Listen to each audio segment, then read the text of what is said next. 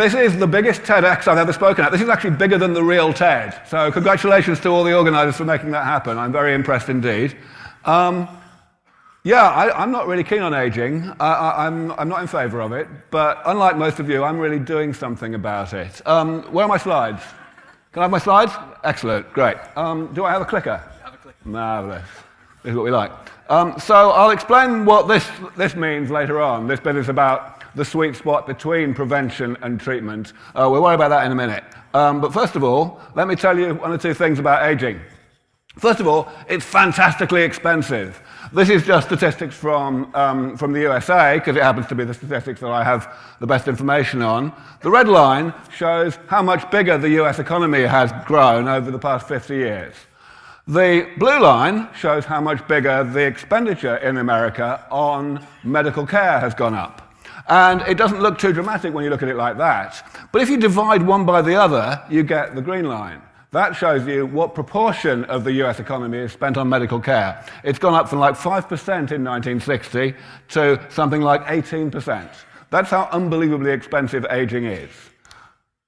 Good? Marvelous. So the first question we've got to ask is how come? How come we're so hopeless at developing medicines that actually eliminate and alleviate and minimize the impact of the diseases of old age. I mean, we've done really, really well on the diseases that affect people irrespective of what age they are, you know, infectious diseases. 200 years ago, literally 40%, 40% of babies died before the age of one. And I can tell you one thing, they didn't die of aging. They died of infectious diseases. And we got really good at stopping that from happening pretty much as soon as people figured out that, that um, hygiene was quite a good idea, and we started actually implementing it. And as prosperity increased, we were implementing it in a more and more widespread way. Of course, we started to actually develop vaccines and antibiotics and so on not long after that, and things got better. Why haven't we been able to get anywhere to speak of when it comes to the diseases of old age? Well, ultimately, here's why. Aging is a side effect of being alive in the first place. It is the lifelong accumulation of damage to the body. And that damage occurs as an intrinsic, unavoidable side effect of the way the body normally works. The body is set up to tolerate quite a lot of damage, but only quite a lot, not an infinite amount. And so eventually, the body gets to the point where it's got too much damage and things start to go downhill. That's all that aging is. It's a really, really simple concept. And when, when people tell you we don't know what aging is, they're, not, they're, they're talking nonsense. That we do know what aging is. That's all it is. So, now, what about the diseases of old age that are so expensive, as I told you a minute ago? Well, hello, they're parts of aging. How could a disease be a disease of old age? How could it be something that actually predominantly affects people who were born a long time ago? The answer is because it's some part of the later stages of this process that goes on throughout life. So it is simply having too much of the damage that being alive causes. That's all that age-related diseases are about. And what that means is it's no surprise whatsoever that we have made no real impact on those diseases, despite the immense amount of effort that we have put into trying. These diseases are universal. You are going to get these diseases if you don't get the others. The only thing that stops you from getting cancer is dying of heart disease first, and, and vice versa. So we're not going to be able ever to cure these diseases in the strict sense, in the sense in which we can cure tuberculosis or something. When you cure an infectious disease, you do something once, and it eliminates it from the body so that that person is never going to experience that disease again unless and until they are reinfected. Aging is not like that. Aging, being a side effect of being alive in the first place, we cannot eliminate it from the body in one off treatments like that and make someone non aging permanently. But that does not mean that these phenomena, these diseases of old age, are, uh, are intrinsically resistant to medical intervention. They are amenable to medical intervention, it's just that it has to be a different type of intervention. So, first of all, let me just say one more thing about the economy the bizarrely underappreciated truth that I just told you about is reflected in not only what we spend on medical care, but also in what we spend on medical research. And again, I'm giving you here statistics from the USA, but I can assure you that it's exactly the same here. It's exactly the same in any other country in the industrialized world.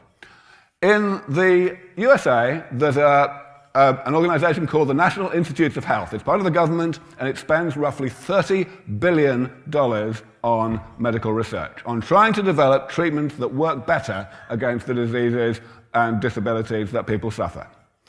Only 3% of that money goes to the institute, the, the, the, component of the NIH called the National Institute on Aging, despite the fact that maybe 90% of medical expenditure goes on the diseases of old age. Now, what's going on there? Well, actually, there are other institutes dedicated to specific diseases, to cancer, to heart disease, to diabetes, and so on. And they're actually much bigger than the National Institute on Aging. But as I just explained, they're trying to attack these diseases in the wrong way. They're trying to attack them as if they could eliminate them from the body. It's actually even worse than that. Within the National Institute on Aging, only one sixth of the budget is spent on actually trying to understand aging. That's the division of aging biology. The rest of it is spent on things like improving the dignity of the elderly and making sure that you know, local councils build ramps on curbs and stuff. Um, and even within the division of aging biology, literally, well, certainly less than 10%, probably more like 2%, is spent on actually doing anything about aging, trying to develop therapies or knowledge that will lead towards therapies, as opposed to knowledge that simply tries to understand aging as a phenomenon. You know, so it's unbelievable how little money is spent. SENS Research Foundation, the organization that's been created around my work, is a, a charity based in California and we've only existed for four years, and we're already not much smaller than the amount of money that the government of the USA is spending on this. That's absolutely scandalous. And it's scandalous because of this misapprehension of what aging is and how we might actually go about dealing with it. So, how might we go about dealing with it? Let's talk about some actual facts. Now, what I've essentially told you so far is that all the effort, all the money, all the thinking that goes on in the vast majority of people's minds, including people who have deep pockets, in the USA and the UK and everywhere else, is over here. It's all about treating the pathologies of old age as if they were diseases like any other disease and trying to eliminate them from the body, bashing away at the symptoms and just kind of hoping for the best and um, putting one's head in the sand, to be perfectly honest, pretending that this might have some significant effect, despite the fact that it never has had and because of the nature of diseases of old age, it never can have. There are some people out there who have known this for quite a long time for maybe the past century, actually, there have been a few scientists out there who have actually faced up to the complete um, unrealistic nature of the geriatrics approach. And they've been looking at what I'm going to call the gerontology approach, which is essentially to say, well, okay, look, some animals live a lot longer than other animals. They age more slowly than other animals. In, within a species, some humans seem to age more slowly than other humans. Maybe we can study that and find out a lot of detail about how that happens. And having done so, maybe we'll be able to turn that knowledge into some kind of therapy to slow down the aging of averagely aging humans. That would be wonderful. Bit of a problem. Um, we haven't actually succeeded. And I'll tell you why in a second. Well, no, I'll tell you right now, in fact. The reason why is because what that would involve is messing around with this thing here.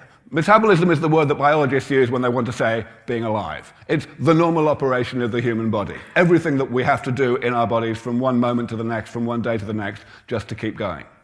In order to make this approach work, to slow down the rate at which metabolism does itself damage, the body does itself damage, we are going to have to somehow tune this and rebuild the way that metabolism works. And that is incredibly hard. Biologists still understand the human body very poorly. And that means that trying to play with it and to so thereby stop it from making this damage, or stop it from making it so quickly, is incredibly difficult to do without doing more harm than good by, in some way, um, you know, unintended side effects of the modifications one made. And that's essentially why people who have been adopting this approach, gerontologists, over the past maybe century, and certainly over the past 30 or 40 years, have become extremely pessimistic about the prospects of ever developing medicines that can substantially postpone the disease and disability of old age. But there is, in fact, a third approach, which somehow was in, almost entirely overlooked until about 10 or 12 years ago when I started promoting it. And I'm going to call it the maintenance approach. And you'll see how intuitive the maintenance approach is in a moment. First, I'm just going to define it. The maintenance approach simply says let's not try and slow down this process where metabolism creates damage, and let's also not try to combat this process where damage eventually leads to these pathologies, these diseases and disabilities. Instead, let's uncouple those two processes from each other. Let's separate them by periodically diving in and repairing this damage when it is still subpathogenic, when it is still at the level that is not actually um, causing pathologies because it is tolerated by the way the body is naturally set up. And I claim that that's a much, much more realistic, plausible, near term option, an option that we have a respectable chance of implementing in the next few decades, at, at worst. Now, why is it so intuitive? Well, simply because the human body is a machine. The human body is a very, very complicated machine, but it's still a machine, and therefore it's reasonable that we could extend the healthy, fully functioning longevity of the human body by the same kind of approach that we already successfully use to extend the longevity of simple man-made machines. Here's one. This car is 100 years old or thereabouts. It was not designed to last 100 years. It was designed to last 10 or 15 years. The reason it's lasted longer is because the people who owned it have done a lot of maintenance on it. They have done a greater amount of maintenance than the law requires, more comprehensive maintenance, and it's worked. Sufficiently comprehensive maintenance on any machine has the capacity to keep it going just as well as when it was first created.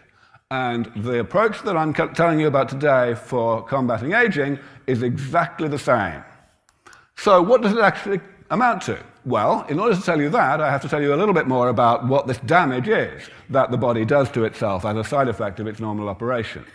And the big breakthrough that allowed this approach to actually be fleshed out and pursued in the lab over the past decade or more was to realize that even though there are many, many, many different types of damage at the molecular level and the cellular level, they can all be classified into a very manageable number of categories, just seven major categories. Here's the list of categories. And I've only got a TED length talk. I've only got five and a half minutes left, so I'm only going to go through them very quickly. I'm just going to talk about this one first of all, because you've heard about it cell loss. That's simply cells dying and not being automatically replaced by the division of other cells. The reason you've heard about that is because stem cell therapy, which I'm quite sure you all have heard of, is simply the way to repair that. It's the way to repair that damage. And this is the type of damage that occurs in aging, just as elsewhere. In Parkinson's disease, for example, cells in a particular part of the brain die, and they're not naturally replaced, and if they die too fast, you get Parkinson's disease. The way to fix that is stem cell therapy to replace the cells that die. And we can't quite do it yet. It's in clinical trials, early stage. Sometimes it works, sometimes it doesn't. When it does, it works spectacularly. And I am completely convinced that within not very long, we will have reliable cures for Parkinson's disease that consist of this maintenance approach. So, as I say, I can't go through all the others right now, but I will talk a little bit about why I think this is an exhaustive classification. It's been the same list for about 30 years. It's well before I came along. All of these things have been studied by gerontologists. Furthermore, I've been actually challenging people to add to this list for at least a decade, and nobody has come up with any cogent uh, reason to add anything to it. So it's looking pretty good right now. Let me say a little bit more about the relationship between damage and disease. Some of these relationships are a little complicated, so it's worth putting this into your head in, in, in a clear way. Sometimes the relationship is simple. So, in the case of cancer, cancer comes down to exactly one of these seven types of damage cells dividing when they're not supposed to. I'm calling them division obsessed. That's a nice one to one relationship. But it's not like that with heart disease because lots of different things go wrong in the heart during aging. Sometimes it's loss of cells. That's when your heart stops just because the pacemaker cells that control the heartbeat um, are insufficiently numerous anymore. Sometimes it's atherosclerosis, which causes heart attacks or strokes, and that is the result of molecular garbage accumulating inside cells, inside cells in the artery wall. Sometimes it's actually garbage accumulating between cells. That causes a very nasty phenomenon called senile cardiac amyloidosis, which, is caused, which, which kills very old people a lot, actually, people over 100. Um, and finally, it's possible to get arteriosclerosis. That's hardening of the arteries, which causes hypertension and all the effects of that, and that's caused by changes to this thing called the extracellular matrix. So, a rather more complicated story, but it's still a very clear story. We can say in a, in a pretty confident way how hearts go wrong in old age. It's the same with Alzheimer's. There are three types of damage that happen in Alzheimer's molecular garbage inside cells, again, called tangles, outside cells called plaques, cells dying. So, it's a clear kind of relationship. So now, the bottom line, what do we do about it? How do we actually implement the maintenance approach? There are four fundamental paradigms. They all begin with R. They are called replacement, removal, repair, and reinforcement. And they apply to these seven categories in, oh, I'm not going on too much. Hello, good. Um, yeah, in these various ways. What that means in concrete terms is these things. I've told you about cell therapy already.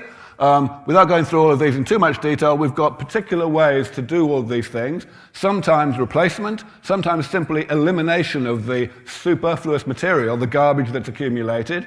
Sometimes uh, repair of the material.